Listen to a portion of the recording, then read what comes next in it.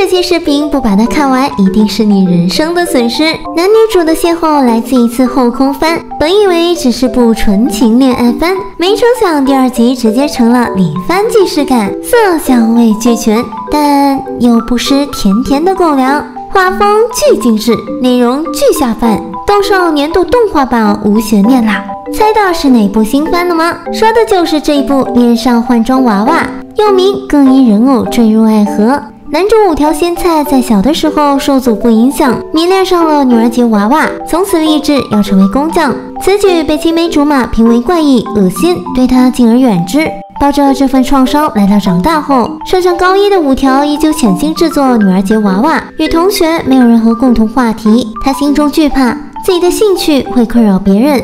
这天，女之神打了个喷嚏，让名女主喜多川海梦一个经费满满的后空翻，额角撞上他的桌子。哇，这不痛吗？事后他迅速道歉，两人也初次对上了话。海梦与男主截然不同，是班上的中心人物，亮眼的外表、奔放的个性让五条不禁多瞅两眼。只见朋友说起昨天他被帅哥搭讪一事，帅哥走上前，指向包包的公仔挂饰，大笑三声：“原来你是个宅女啊！笑死，笑死！这大相技术达美的是太走。海梦毫不留情甩他一记臭脸，转身离去。他表示，嘲笑别人喜欢的东西非君子所为，一句话便入了五条的心。那是个与他截然不同、能够真实活着的人呐。放学后，同学将值日丢给他一人去做。五条习惯性忍气吞声，扛下所有。恰巧海梦也是今天当值，他点破了男主被使唤的事实，让他要学会勇敢，为自己发声。此番话在五条心中久久挥之不去。回到家，他一如既往沉浸在爱好中。不料缝纫机恰时手中正寝，五条灵机一动，在隔天跑到学校的备服准备室借用电动缝纫机。这里被荒置许久，来了也不会被人瞧见。才对啊！是看垃圾的眼神呐！没想到海梦兴奋过度，呼吸变得急促，大力称赞男主的手艺。初次获得认可，五条心生愉悦。突然，海梦脱起了衣，五条急忙非礼勿视，但那稀稀碎碎的声音，着实让人心痒痒。再一回头，海梦换上了剪裁不整的连衣裙，与原图对比，简直惨不忍睹。触及专场，五条不由自主滔滔不绝，对大小细节进行批判。回过神来，已经说了一丢丢失礼的话。海梦没有在意，反倒将自己的秘密告诉他：这件衣服是用来 cosplay 的。他觉得这是一种爱的表现。无奈他在针线活方面没有天赋，遂请求五条帮助他做 cos 服。回想起海梦这些日子所展现的熠熠生辉的面貌，五条虽没有把握，却还是咬牙答应了请求。海梦感动落泪，终于能够 cos 喜欢的角色了。不不不不，这怎么和想象的不太一样啊？没听清啊！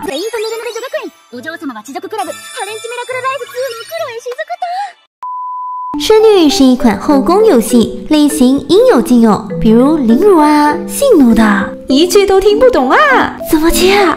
难道是梗？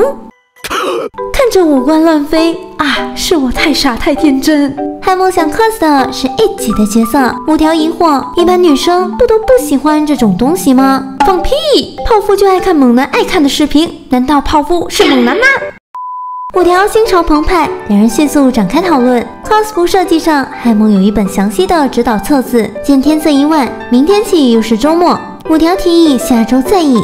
至少给他两天时间消化这刺激的内容，但海梦已经等不及了，在隔天居然找到家里去，带了份芝士蛋糕做见面礼，就直接闯进五条的房间，大摇大摆地捣鼓这和那的。最正直的五条大脑停止运作，事不宜迟，赶紧开始制作衣服的第一步量三围。五条含羞答答，迟迟不敢行动。海梦看穿他的顾虑，早就在里面备好一件泳衣。一旁的物体已飞升上天，自古的未解之谜：内衣和泳衣到底有什么区别啊？五条勇敢跨出一步，从头围开始量。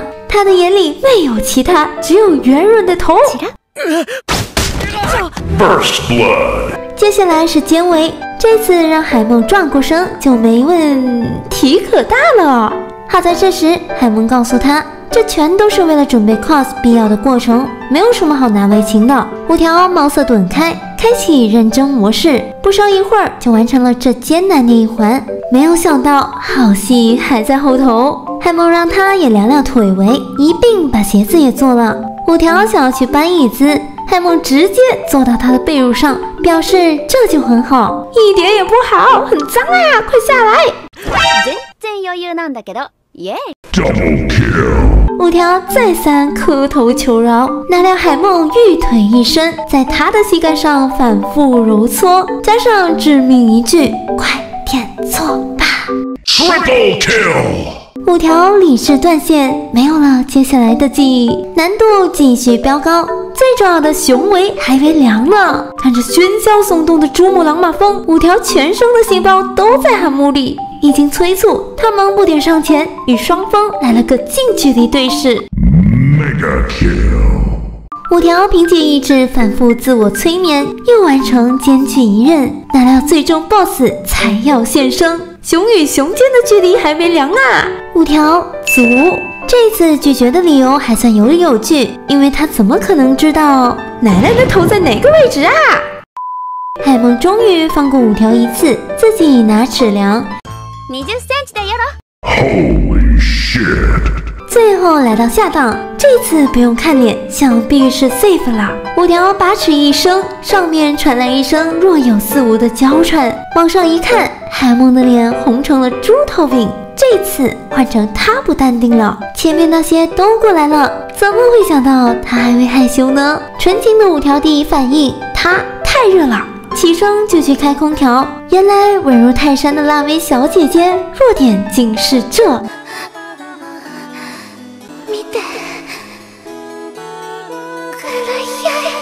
又是一日清晨，五条发了有关海梦的春梦，早起梦遗了，没办法，只能撸一把。事后又心怀愧疚，无颜面对海梦。来到学校想偷偷避开，可人家对他可热情了。海梦的朋友跟着围了上来，见五条面露难色，便斥责海梦不要为难人家。海梦搭上他的肩膀，想要表示二人很熟。眼见海梦对他一如既往的热情，五条心中暗自高兴。路人甲乙丙却已开始唧唧歪歪，说他们就不是一路人。为不影响海梦的形象，五条用尽办法回避他，可他怎么躲也躲不过海梦的死缠烂打。在回家路上被抓个正着，在海梦的质问下，五条嗫嚅着说出在意的事，但这些对海梦而言根本不值一提，他们早就是朋友了呀。说完，海梦抓起五条的手，直奔购物中心的 cosplay 专柜，需要买的东西一箩筐。五条为此还特意画了幅三视图，把细节全部标出来，方便选购。对于粗枝大叶的海梦来说，简直是如获至宝。逛了一圈，好不容易来到重头戏——吊带和丝袜。五条大半辈子都没进过这种店，像只乖顺的小狗狗伫立在那，眼尾也不敢乱扫，只求海梦能再快一点。谁知海梦钻出头，大秀性感吊带袜，说是今天陪他逛街的回礼。或许五条想要更刺激的。不知不觉来到晚上，吃饱喝足的二人走在回家路上，畅谈起侍女游戏的内容，尺度之大，惹得路人频频侧目。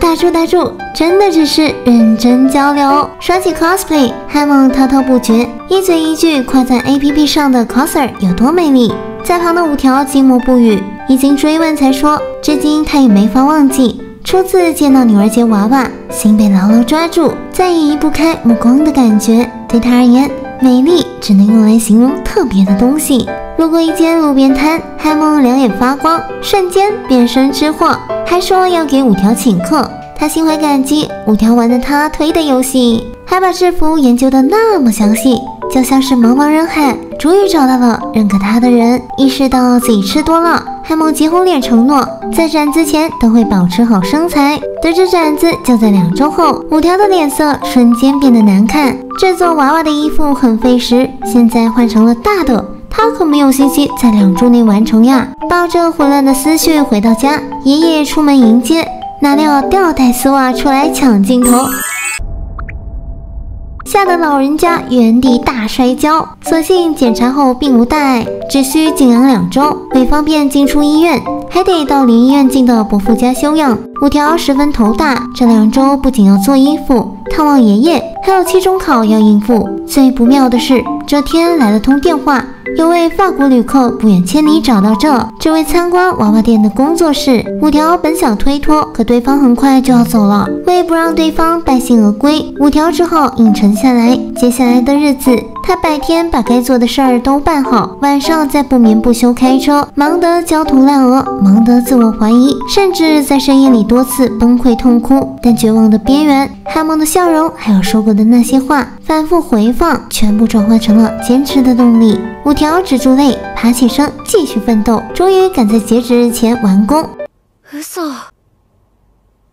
直到这时才知道摆了个大乌龙，海梦并没有要求要在今天的展子 cosplay。五条顿时放下心头大石，海梦却泪流不止。除了感动，更多的是愧疚，自己完完全全没有注意到这些，让五条独自承受了一切。两位都是真性情，原地结婚吧。事不宜迟，而马上进入 cos 环节。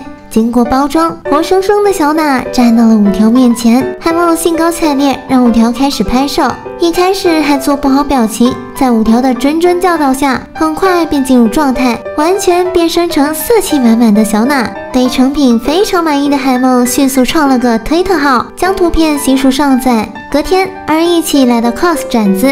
初次接触这么多的人群，五条又生成新的表情包。这时，卢迪走上前，摄影师走上前要求替海梦拍摄。好在昨天做过练习，表情管理非常 nice，不知不觉吸引了要排队合照的大长龙。五条在旁观看，又开始胡思乱想：这之后和海梦相处的日子是不是就结束了呢？这些天的点点滴滴一幕幕回放，他喜提朋友，经历了许多的第一次。就像南柯一梦，但真的真的很开心。这时，远处的海梦转过身，与五条对上眼，刹那进入心中，刻印成了永恒。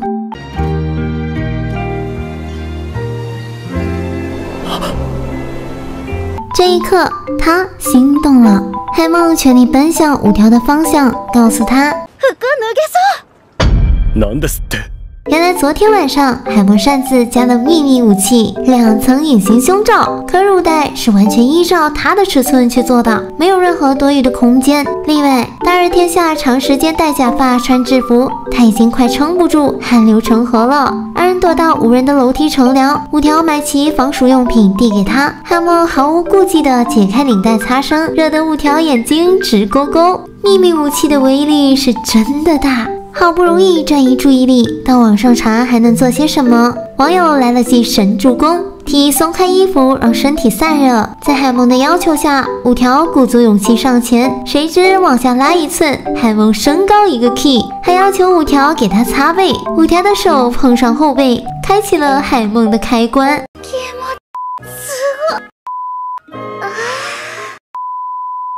口的摸，在外面不要乱来哈。五条羞红脸，让海梦克制一点，他却表示不够，掀开裙底还要继续擦，爽够了也玩够了。乘电车回家时，五条向海梦郑重表达谢意，随后陷入无尽沉默。这时，海梦蹦出一句。下次要 cos 什么呢？原来以后还会有很多很多相处的时间。五条难掩欢喜之情，被海梦当场抓包，调侃了几句。他换上严肃的神态，告诉海梦今后请多多指教。疲倦感袭来，五条渐渐睡去。半梦半醒间，他想起了今日那令他无比心动的瞬间，随即脱口而出：“北川さん、とても綺麗でした。”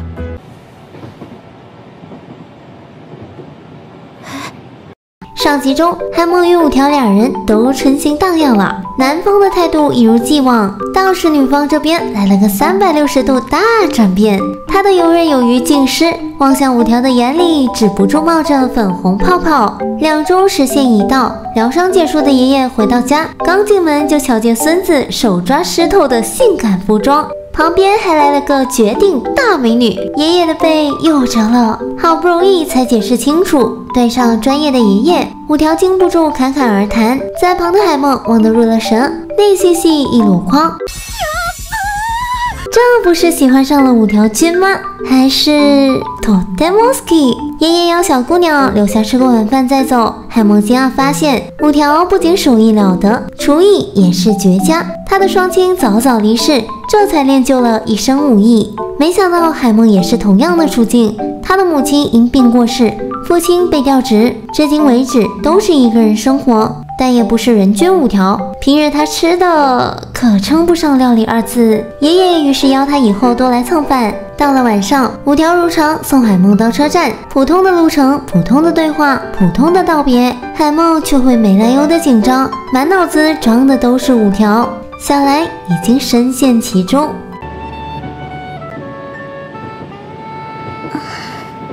一日雨天，店铺门外来了位真人偶，爷爷误以为是孙子的朋友，将全身湿的他招待进家，顺便借了浴室。五条朋友不多，就海梦一个，他正在打工。那浴室里的到底是？极具戏剧性的一幕就此上演，女孩不慎狡猾，摔了个底朝天，光溜溜的白虎就这样呈现在男主眼前。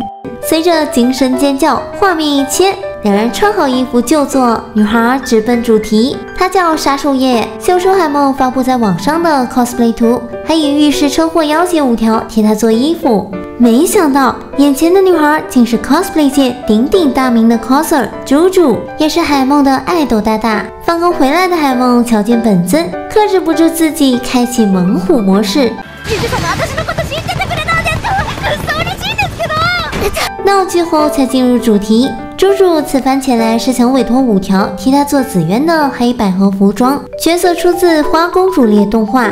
女主紫渊在发现大 boss 是亲姐姐音渊后，诞生出黑百合形态，自信与不服输的态度深深吸引猪猪。为了完美 cos 出自己喜欢的角色，猪猪希望五条能够替他量身定制 cos 服。双方谈拢后，猪猪便向五条要手机号。解释联络只会限于服装上的沟通，让海梦这位女友别误会。五条轰的一声炸出表情包，忙不迭解释两人不是那种关系。在旁的海梦却乐开了花。为了这次拍摄，猪猪特意租了间摄影棚。海梦抓住机会表示会分担租金，只要爱豆答应和他搭档一起出 cos。抱着破釜沉舟的心态一问，猪猪居然答应了。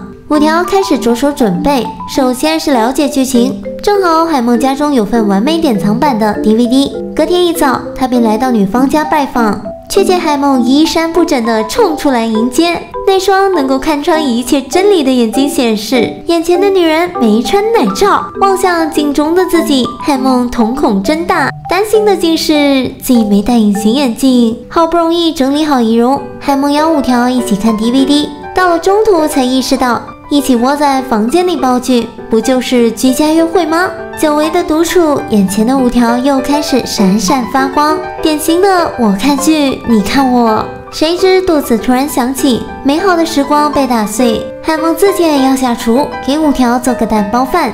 准备途中动起了各种少女心思，要不在上面撒个拉夫拉夫，吹热热。幻想后又忍不住哈子卡西，一系列小举动实属恋爱中的少女无误。无奈灵机补救没用，出来的成品一团糟。就算如此，五条依旧在认真品尝后给予由衷的夸奖。告杂已成事实，能够不点破并及时安慰，化解女方心中的尴尬。这种宝藏男孩呀，越了解只会越喜欢。几日后，五条将画好的三视图发给猪猪。在了解到猪猪的 cos 图都是由妹妹拍摄后，决定向本人请教相机的用法。本以为小猪猪应该会是这个样子，没成想实体震惊我妈？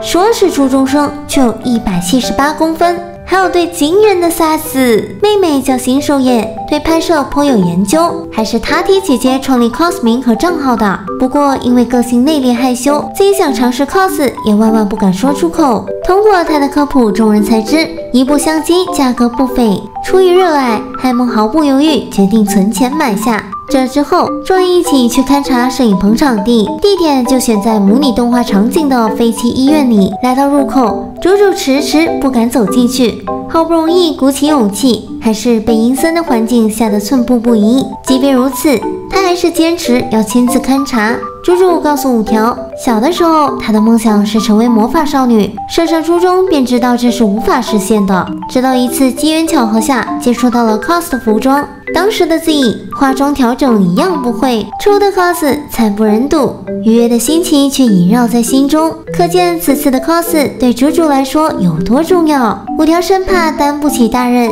猪猪却告诉他。自己对他做的服装一见钟情了，甚至还隔着屏幕嫉妒起了海梦。那时他就知道自己非他不可。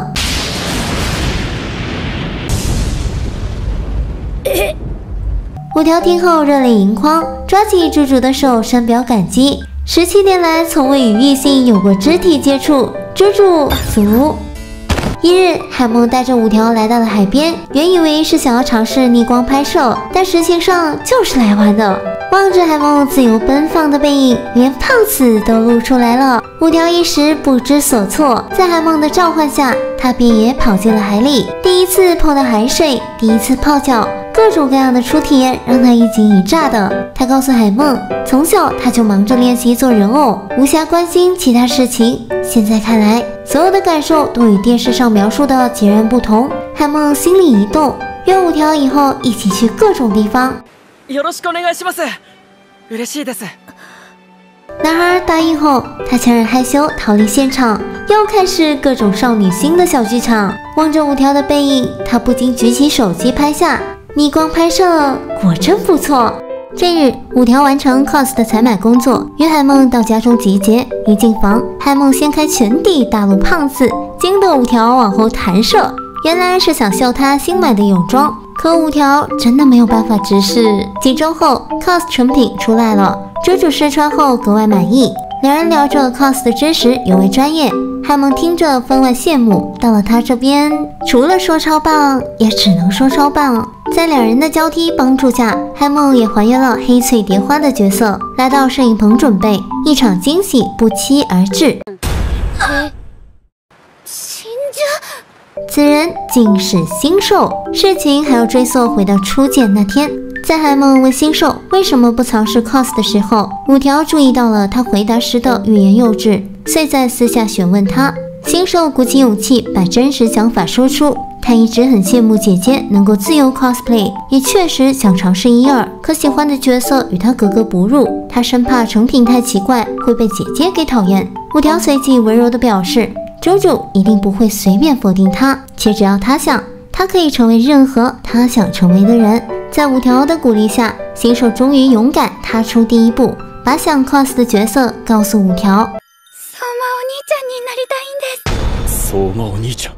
萨马哥哥也是出自花公主列的角色之一，既坚强又帅气，深深俘获新手的芳心。最大的问题显而易见，就在欧派上，size 太大了，要怎么隐藏？另外，他是个学生，没有闲钱购买装备。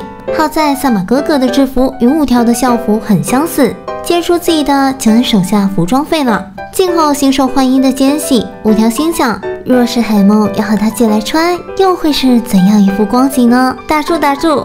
此时新手也换好衣服了。果不其然，妄想遮住双峰还是太天真了。努力憋住呼吸，纽扣还是受不了冲击，差点成为凶器。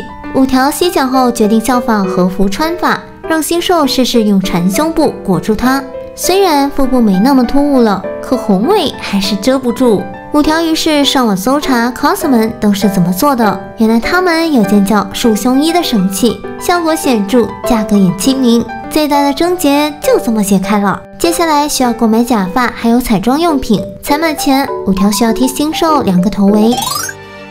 嗯，这份工作叫什么？绅士们记笔记，去荧屏哈。由于这次的变身计划乃是二人要给猪猪的秘密惊喜，假发也需要亲自下场修剪。五条犹豫了半天，还是下不了手，生怕自己毁了难得的材料。新兽略显惊讶，在他看来，五条君像是无所不能。五条告诉他，自己也曾经是这么想某人的。闪闪发光的海梦似乎永远不会有烦恼，但一起经历了各种各样的事，才知大家都是一样的。都有做不到的事儿，不顺利之时，只是都藏在了心底，没有说出来。经过五条的精心改造，萨玛哥哥来到了三次元，海梦二人化身小迷妹，疯狂死勾引。收到来自心爱姐姐的认可，新手热泪盈眶，初次体验到了梦想成真的感觉。之后，几人前往摄影棚场地展开拍摄。猪猪对五条表达了感激，他知道五条悄悄替新手出了一些小钱，但最感激的还是他对妹妹的关心。若不是五条，这大抵还蒙在鼓里，对妹妹一知半解。五条安慰道：“这并不是猪猪的错，只是大家呀，多少都会害怕把想做的事儿说给别人听。”温柔的话语直达心底，让猪猪脸颊一红，似乎也动心了。拍摄进行得非常顺利，成品照也是没话说。事后海梦询问才知，为了准备萨玛哥哥的 cos，五条与星兽在他不知道的情况下，不知有了多少独处时间。他鼓起腮帮子，似乎要变身成真的黑翠莲花了。暑假来临，一次居家看片，被新的角色迷上，海梦又想尝试 cos 他。角色名叫贝罗妮卡，特色是黑肉、鲨鱼齿以及若隐若现的下乳。这次的衣服极为简单，趁着暑假的空余，五条很快便做好了。而这边行动力超强的海梦居然跑到海边晒黑全身，才怪！其实是抹了深色粉底液，如此就可以马上还原贝罗妮卡的肤色。海梦来接浴室洗澡，因这一时兴起什么都没带，五条于是给他备了件替换的衣服。喜欢的女孩穿上私服，惹得五条心跳加速。回到主题，为了这次的 cos，海梦特意买了张粘贴壁纸，使用这个便可以在任何地方还原场景，非常方便。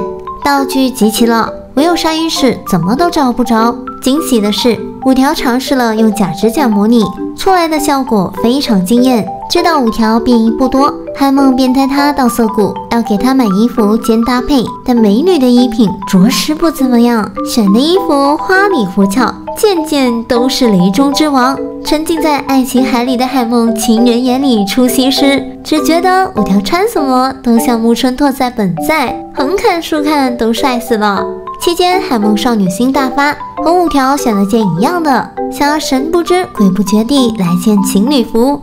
这么难看，五条真是有苦难言。之后，二人到处走走看看，吃好吃的，做些笨蛋情侣会做的事儿。本该是美好的一天，没想到这时，五条却说自己不打算参与贝洛妮卡的 cos 了。宛若一桶冷水浇到身上，海梦伤心的问他为什么。五条支支吾吾的说道：“胸の部分の布の面積が少ないので見れません。”海梦脸颊唰的一红，原来是这个原因啊！他的心情随着五条的字句起伏，这才放下心头大石，随即表示理解他的顾虑。但既然衣服做也做好了，穿上试试还是会的。两人坐在大街上，各怀心思，沉默了数秒。海梦兔地伸手拉住五条，凑近他的耳边，悄咪咪说道：“ 开玩笑，是开玩笑吗？就留给观众去判断了。”酷热的夏天，在海梦的带领下，五条来到漫画咖啡馆进行初体验。只是没想到，厢房的空间如此之小，两个人稍微挪动身体就会碰到一起。难道是自己见识浅陋？这是正常的。这时，海梦取出一本漫画，推荐五条一定要读读看。漫画是日常细思宫格，讲述身为超畅销作家的男主阿耀，每晚都在忙着写小说。淫魔丽兹鸠于是想尽各种办法要让他入睡。海梦对扮双马尾巨没有抵抗力，非常喜欢丽兹鸠，可却不打算出 cos。询问后才知，他没有自信能够 cos 好这么可爱的角色。五条神情认真地盯着他良久后说：“他觉得海梦很适合呀，若真的喜欢就试试吧。发型的问题由他来解决。”哎，这么一说，女孩子又又又心动了。答应后，五条才知。淫魔是一种让男性做色色的梦，然后吸取精气把他们杀掉的恶魔，听起来很血腥。五条抱着满腔忧虑翻开一读后，却被丽兹鸠傻乎乎的形象给萌化了。同时间，五条也发现了难处，因着简略的画风，服装背面的设计完全被遮住了。也就是说，他需要自己去思考该怎么完善设计，这将会是场崭新的尝试。很快，海梦买下了像丽兹鸠的泳装，并打算另外找个场地拍摄。千想万想也想不到，场地竟是爱情宾馆。平时要挡住公事已经不容易了，这刺激五条可受不了。他们是未成年，怎么能来这种地方呢？说的挺有道理啊，但钱花了不用白不用。海梦起身就要去准备 cos 服，惊觉这里还有浴缸，随即邀五条一起泡吧。静候的当儿。五条心绪不宁，举起遥控器尝试转移注意，谁知里面播的都是些不可描述的画面。趁着四下无人，五条目不转睛地看了几准，直到海梦特地从浴室出来，他表达了对 cos 服的喜爱。为了制作这件衣，五条事先做了不少搜查，自行幻想并补充上去。可毕竟初次尝试，他心里害怕不按着原作做是错误的。海梦告诉他。这样的事情已经见怪不怪了。创作者以自己的方式诠释作品，这便是 cos 的有趣之处。震惊不过三秒，海梦便提起了都市传说，据说把保险套装进钱包会财运滚滚来。在他的强迫下，二人各往钱包塞了一个。之后，在五条的帮助下，海梦顺利变装，活生生的丽兹鸠让人无比惊艳。五条准备了一堆小道具，想要重现各式各样的场景。由于海梦的性格与丽兹鸠一样活泼俏皮，摆起表情动作无难度，拍摄进行得非常顺利。很快来到最后一幕，也是重头戏，是丽兹鸠给阿耀唱摇篮曲的场景。五条尝试从旁拍摄出来的成品像是缺了什么，五条于是让海梦坐到自己的身上，要尝试从阿耀的角度拍摄。终于拍到了满意度一百趴的照片，两人别提有多开心，全然没发觉现在的姿势有多暧昧。这时，隔壁房传来了呻吟声，五条头脑晕眩，骤然雄起。他大叫着让海梦紧急撤离，还伸出手要把他推开。谁知这一碰竟碰上了人家的基点，海梦猝不及防下发出娇喘，伴随而来的是一室漆黑。昏暗的房间，暧昧的姿势，情窦初开的二人，差不多要擦枪走火时，电话铃声响起，提醒他们是时候退房了。再下去就是本子不是纯爱翻了。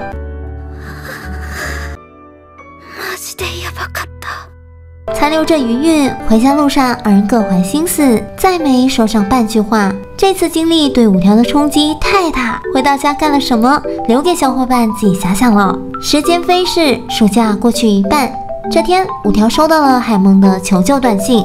原来为了攒钱买相机，他把时间都花在了打工上，全然忘了还有功课这回事儿。也是这时五条才知道，海梦竟是杂志模特。在五条的帮助下，他好不容易写完英文，却发现数学作业留在了学校，没办法，只好跑一趟。路上一时好玩，海梦擅自闯进学校泳池，本来只想泡个脚，结果一不小心跌了进去。海梦还不会游泳，差点溺毙，好在五条及时把他从水里拉了出来。就算如此，他还是很享受到海边去玩的感觉，那种坐在沙滩上听海浪拍打。望着海面反射阳光的感觉是如此舒心。海梦接着告诉五条，自己会努力写完功课，到时就一起去祭典走走看吧。在五条的应允声中，一日就这么结束。海梦成功赶在夏天结束前写完功课，两人按照约定来参加祭典。为了今天，五条特意穿上圣平，海梦也穿上了浴衣。望着美人，五条一时出神。来自喜欢之人的害羞让海梦心花怒放，之后还故意各种展示后景，只是五条君没有看懂。很快便到了烟火时间，这是五条第一次到现场看烟花，望着寂静的夜空，一次次绽放出绚丽的颜色，周遭弥漫的火药与烟味儿，群众的喧嚣，五感极其，每一样都真实的冲击着心灵深处。那之前的好多好多年，他的夏夜都窝在房里度过，可今年。出现了一个女孩，带他去看世界。